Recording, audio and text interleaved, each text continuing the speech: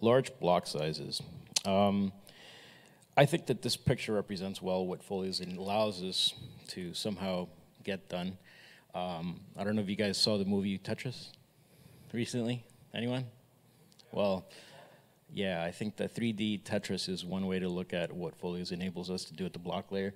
If you think of it in small little pieces and you see the really small little blocks, then, then Folios allows us to address and work with large blocks, obviously, in a, in a very atomic way.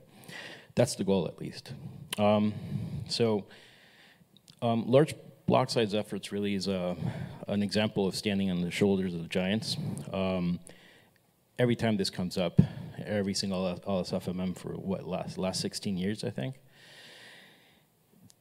This has been, you know, tackled. Um, and the first patch set uh, was by Christoph Lameter. Um, Dave Chinner worked on this too. Um, so it's certainly things that folks have been thinking about for years. Um, there is a, a, wiki, and there's documentation there. Um, I don't need to provide you the link right now. You can just Google it. I think it's the first entry in Google right now.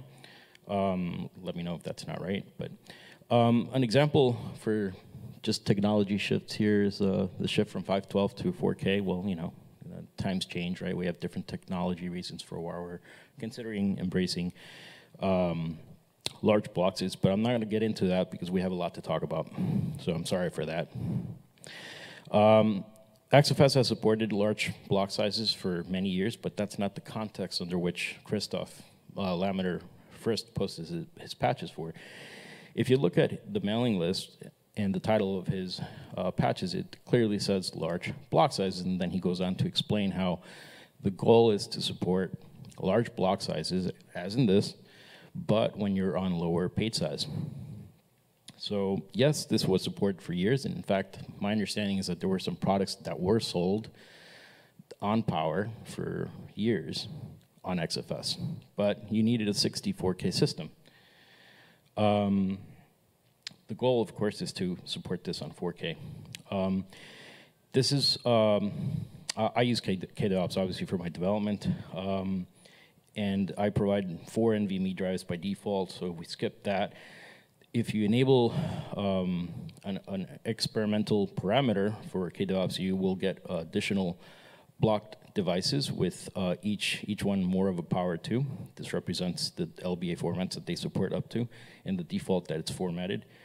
Um, you can query the LBA formats that are supported this way, and you can format an NVMe drive this way as well.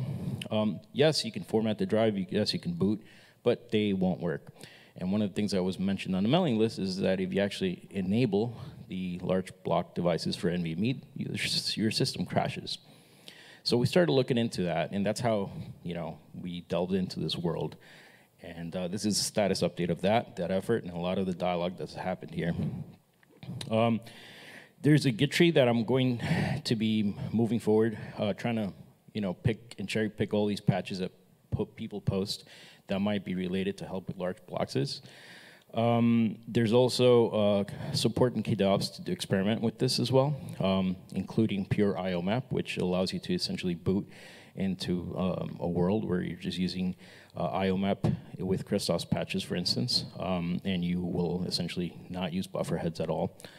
Um, you can test today large block sizes, then using NVMe with large block next, for instance. Um, you can also use it with BRD and tmpfs. Um, so to answer your question, that, that, that, support is, at least from a R&D perspective, of course there's further, you know, R&D that needs to go for, forward and, you know, further RFCs and so forth. But there's a lot to talk about, so we need to move fast for this. Um, now, let me show you guys uh, where we're at.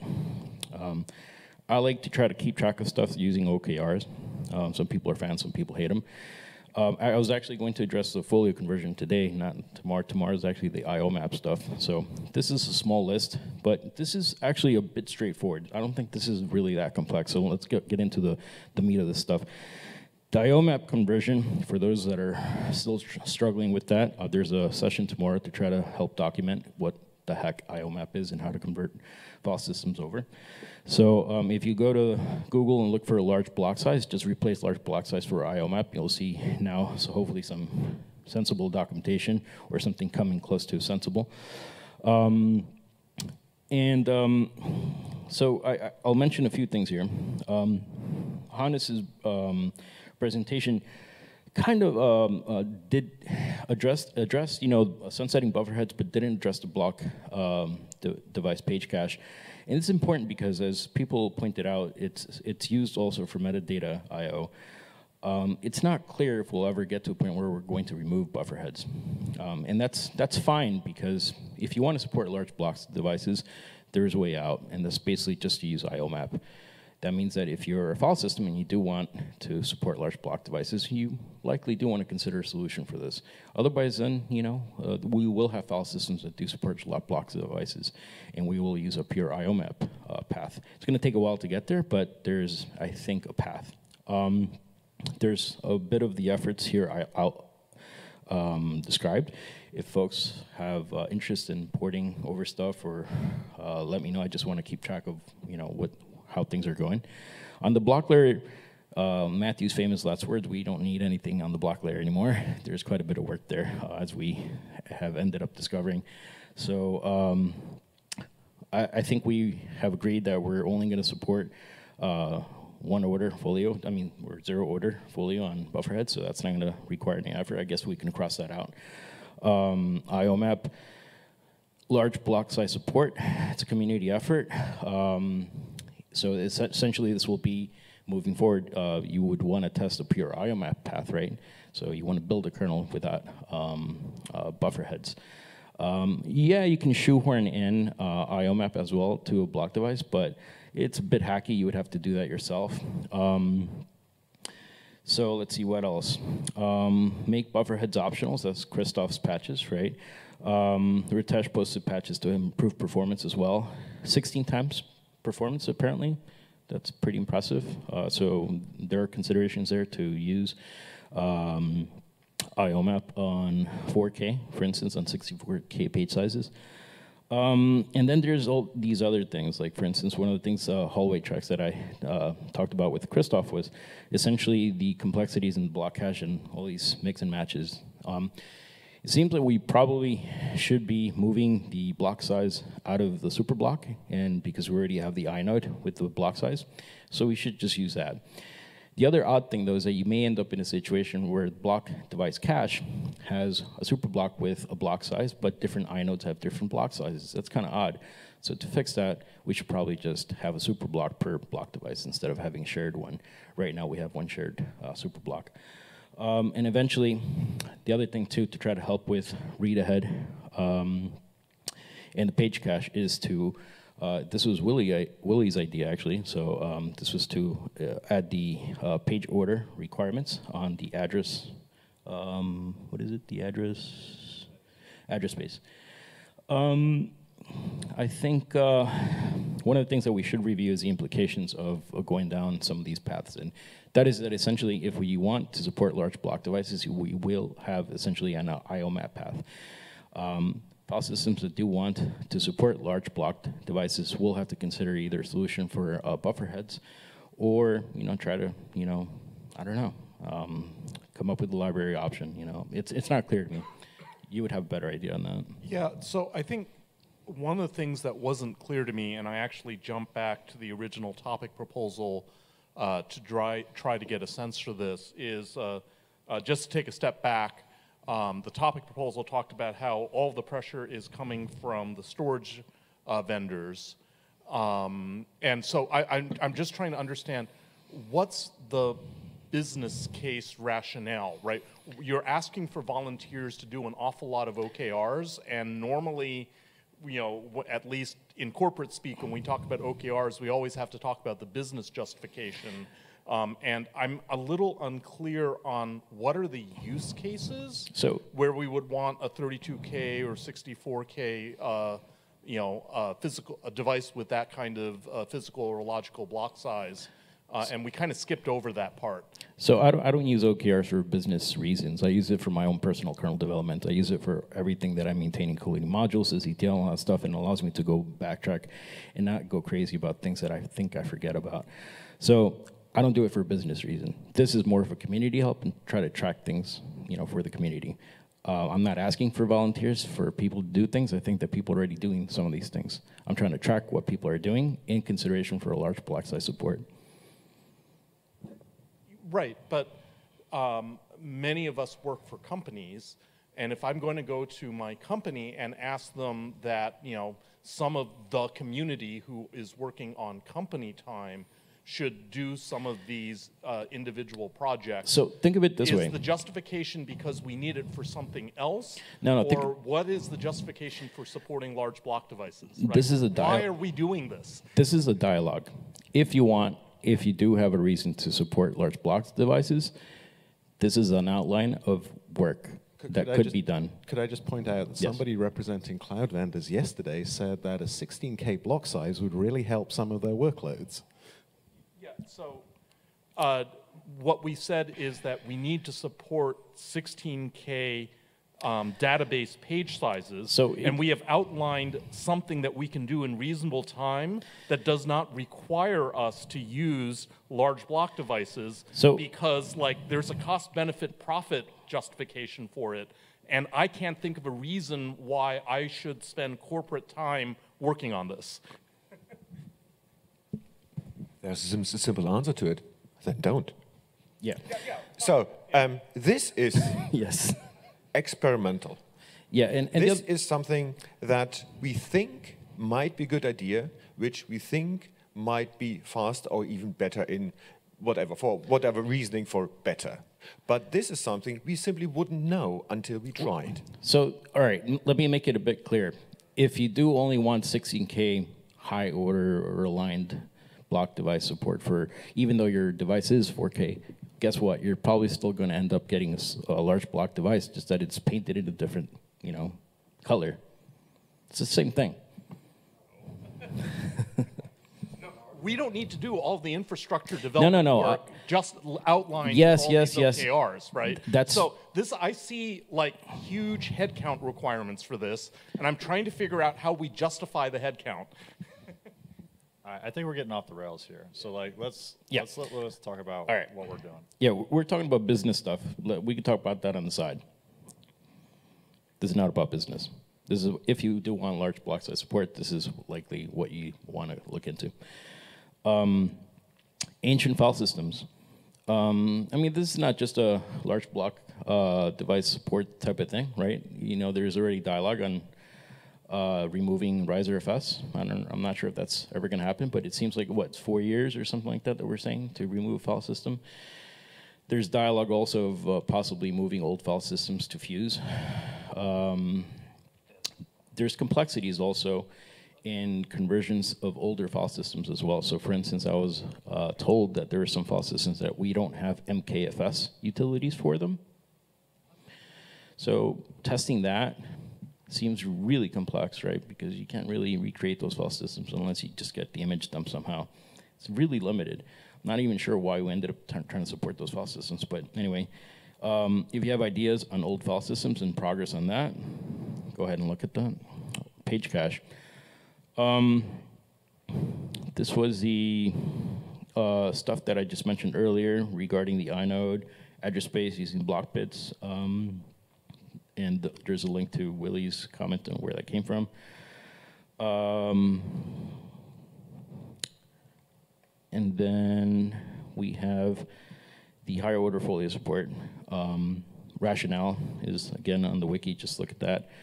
Um, memory comp- compaction came came up, but um, in trying to talk to Vlastimil, it's not clear to me really if uh, there's anything that needs to be done there. Um, Willie, do you?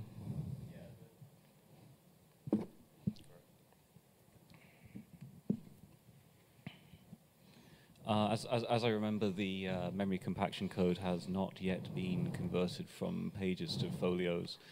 Um, I, I, I, I think it's more the allocation of, of fresh pages. So right now, I don't think it does very well at migrating pages from uh, migrating non-zero order pages from one zone to another. I think that's just something that, that needs to get fixed.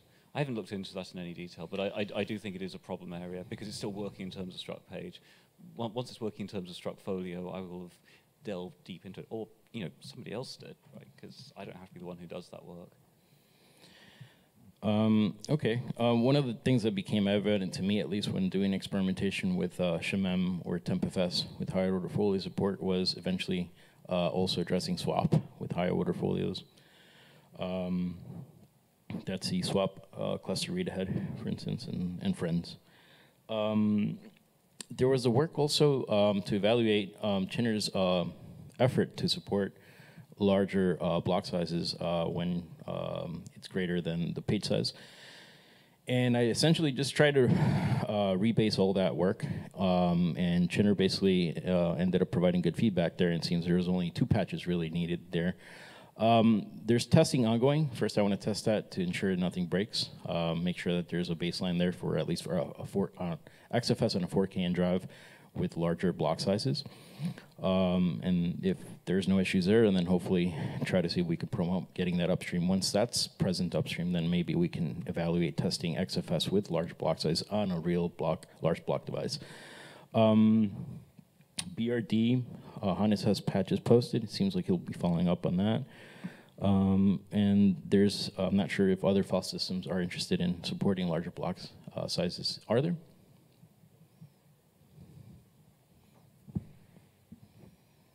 So weirdly enough, we already do this by default for Btrfs for metadata only because data is such a problem.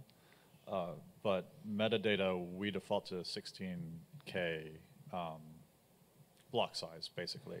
And so we just, and you can go up to 32, 64, or whatever. But like, because cow is unfortunate sometimes, it's better for us to like do this in big 16K chunks. So like, you know, your default Fedora install has 16K metadata block sizes on 4K uh, page size. And How so we'd love to do this for data as well. It's just data's trickier right now. Right, right.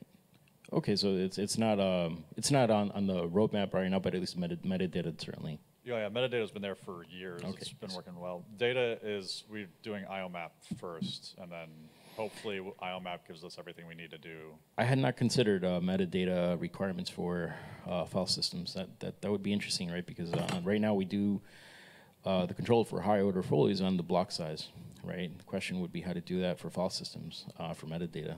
Yeah, this is where that like, you know, metadata abstraction thing that we have. We just have like a like an array of page pointers that we we do. So like at the point that we can start allocating full 16 kh folios and just drop that in there instead of having like 4K things, that would be cool. But Is the address space somehow used for metadata or not at all? Uh, we that is uh, horrible what we do um, because we have a lot of metadata. We're not like ext4 or XFS. We have gigs of metadata and like you know hundreds of megas of metadata that we write out at any given time. Uh, so we have a fake inode with an address space that we hang everything off of, and then we just set the AOPS to like nothing, and then we manage it all internally. Uh, if you remember a few, probably five or six years ago, I like wrote a bunch of code to um, do like byte size uh, throttling, so balanced dirty pages. This is the big problem that, and this is why we do it this way, is because with as much dirty metadata that we generate, uh, we can overwhelm the system and you know uh, use too much memory, and so we need to rely on the balanced dirty pages. We didn't want to like redo all that work, so we use the inode to take advantage of balanced dirty pages. Um, and I tried to do this in a generic way, and I just got distracted by higher priority things. Um, but that's why we do it. Got it. Thanks. Yes. So to come back to Ted's business case thing, which is basically this looks like a lot of work. Your Chinner thing, you said there were only two patches. I remember that patch said it was pretty huge. Yes. So is what you're saying that once we've done the folio conversion, actually what looks like 15 million man years of work will actually fall out to be That's almost correct. nothing? That's correct. That essentially, essentially, your file system should be a lot easier to convert and to add support for large block size support if you want that. One of the issues, of course, is the metadata stuff, right? And currently using buffer heads. Yeah, so- I, I think um, if Darrick is on, he can talk about what work might be needed for XFS and. I um, am on, Ted. Okay, because I know you talked about this last week about supporting um, uh, pa- blo- XFS block size larger than page size and maybe you could comment on the XFS uh, metadata buffers or the XFS buffs that would be needed. Sure. So, as was previously touched on, XFS has its own buffer cache hidden inside of its code base, so we don't use address spaces or any of the strange things that Btrfs does with address spaces. So as far as metadata goes, we already support having file system block size greater than page size. It works at least until memory fragmentation kills you.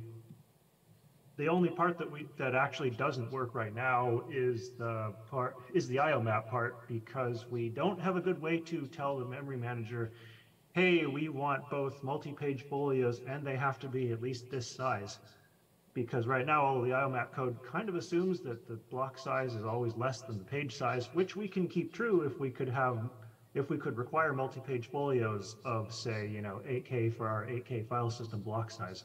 So I think what Luis is talking about when he says that this huge Grody patch set collapses to two is that I think all we really need to, I think the only piece that's left is just making the, the uh, memory manager give us 8K, say, pages or 8K folios, and then seeing what falls out of the system once memory fragmentation comes up and tries to eat us alive. Now, you know, Matthew has a has a theory that if everybody uses 8K in the system, then actually it will be fine and we'll just reclaim things as we do now. I suspect there probably are going to be other weird issues involving making it clear to the memory manager that if you want to reclaim part of this 8K folio, say, you have to reclaim all of it, not just one of the two pages. You can't really, eh, basically, you can't split large folios down to some anything smaller than whatever granularity we established in the first place.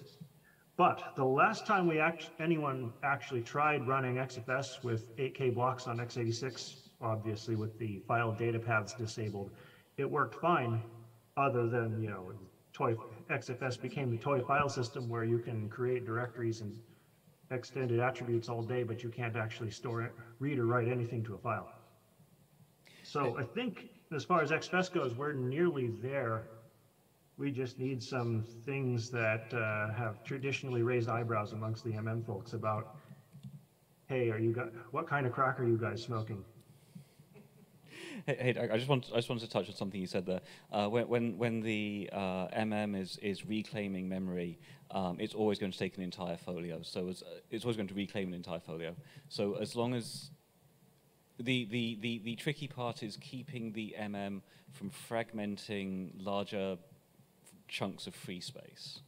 So that, that, that's, that, that's, that's where we need to do it. And uh, Johannes and Mel are currently arguing about a patch series uh, on Linux MM that, that will try to do somewhat better in terms of keeping um, large chunks of memory available.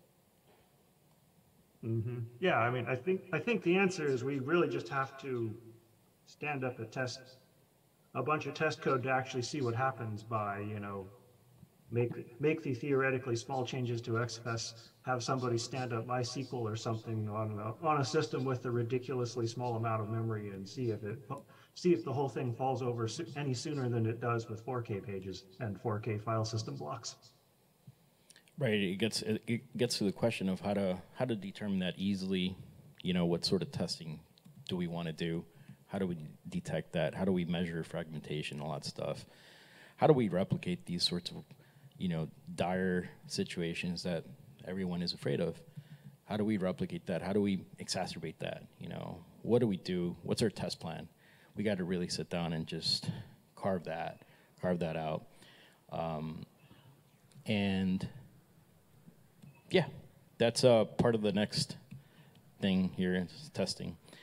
Um, basically, we want to get to the point of uh, um, testing first XFS on a baseline on 4K and drives with larger block sizes, right? Without uh, 4K and drives. But then what does it mean when you start enabling it on a, on a real large block device test? How do we stress that? How do we measure fragmentation? How do we cover these things? What metrics do we have available? You know, um, and this is part of a community dialogue, and this is why we're here. So maybe we can talk about that for those who are interested in lightning talks on the side and so forth. Um, but that's what I have. So, uh, questions? Uh, hey, Luis. Uh, this is Ritesh. Um, uh, am I audible? Yes.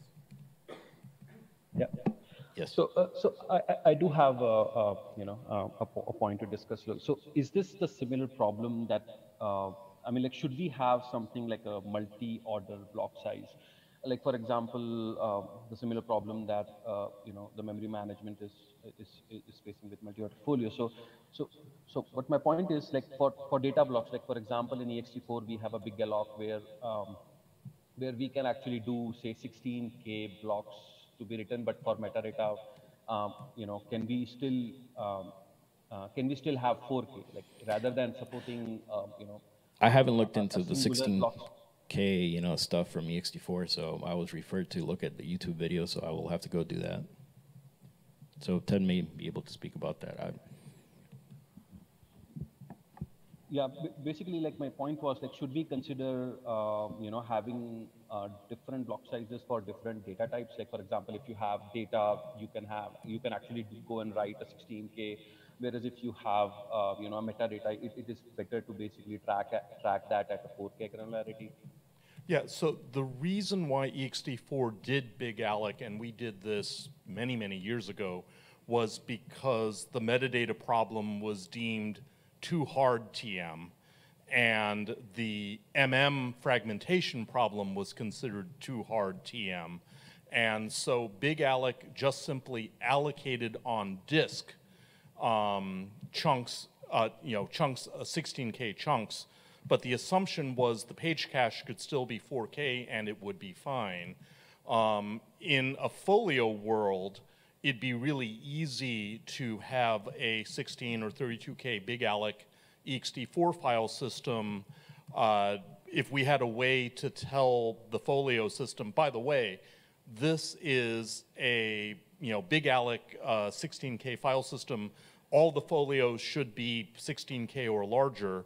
Um, it'd be really easy to do that, and we wouldn't change anything else because the fundamental metadata block size is still 4K, uh, and that would stay the same. So if what we're using in a folio world, um, this is actually pretty easy um, the way ext4 did bigalloc, and that was simply because we decided to solve the easiest parts of the problem first. We were not trying to solve the general case.